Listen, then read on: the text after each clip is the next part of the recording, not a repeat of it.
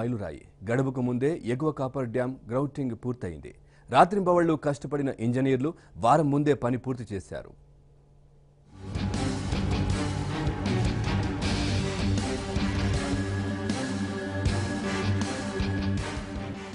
రాష్ట్రానికి జీవనాడి అయిన పోలవరం ప్రాజెక్టు పనులు పరుగులు పెడుతున్నాయి.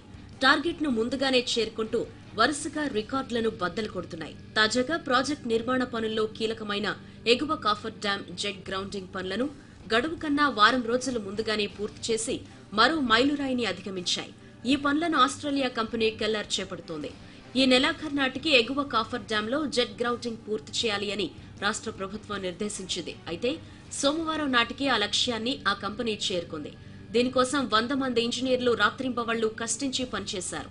పోలవరం ప్రధాన ప్రాజెక్టు నిర్మాణానికి ముందు ఎటువంటి తేమ రాకుండా ఎగువ దిగువ కాఫర్ డ్యాంలను నిర్మిస్తారు. గోదావరి నడిపొడ్డున సుమారు రెండు వేల యాభై మీటర్ల నిడివి ఉన్న ఎగువ కాఫర్ డ్యాంను నిర్మించాలని తలపెట్టారు. కేంద్రం నుంచి డిజైన్ ఆమోదం పొందిన వెంటనే పనులకు శ్రీకారం చుట్టారు.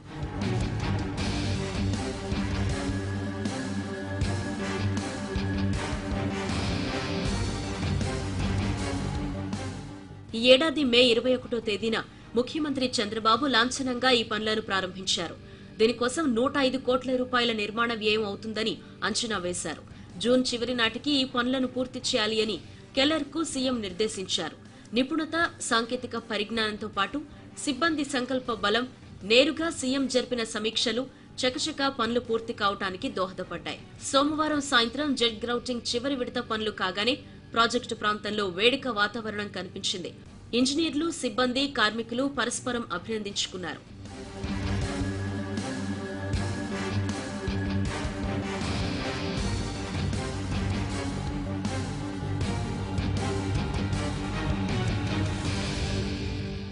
ఒక ప్రధాన ప్రాజెక్ట్ నిర్మాణానికి దిగేటప్పుడు దానికి ఎగువ దిగువన నిర్మించేదే కాఫర్ డ్యాం.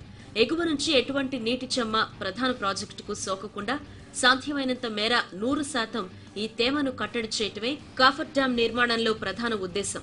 ఎగువ కాఫర్ డ్యాం జెట్ గ్రౌటింగ్ పనులు గడువునకు ముందే పూర్తి కావటంపై సీఎం చంద్రబాబు సంతోషం వ్యక్తం చేశారు. దిగువ కాఫర్ డ్యాం జెట్ గ్రౌటింగ్ పనులను జూలై తొమ్మిది నాటికి పూర్తి చేయాలి అని ఆదేశించారు. ఈ ఏడాది చివరి నాటికి పునరావాస పనులను పూర్తి చేయాలని కోరారు. పోలవరం నిర్వాసితుల కోసం పునరావాసం పరిహారం కింద కేటాయించిన మూడు వేల నూట పదిహేను పాయింట్ ఒకటి ఒకటి కోట్లకు గాను రెండు వందల పంతొమ్మిది పాయింట్ రెండు ఐదు కోట్లు ఖర్చు చేసినట్లు అధికారులు ముఖ్యమంత్రికి తెలిపారు. ఈ ఆర్థిక సంవత్సరాంతానికి ఆర్ఎస్ పనులు పూర్తవ్వాలి అని తూర్పుగోదావరి కలెక్టర్ను ముఖ్యమంత్రి ఆదేశించారు. ఏపీకి మరో దిగ్గజ కంపెనీ రానుంది. ప్రపంచంలోనే ఐదు అతిపెద్ద ఎలక్ట్రానిక్స్ సంస్థల్లో ఒకటైన ఫ్లెక్స్ట్రానిక్స్ తిరుపతి సమీప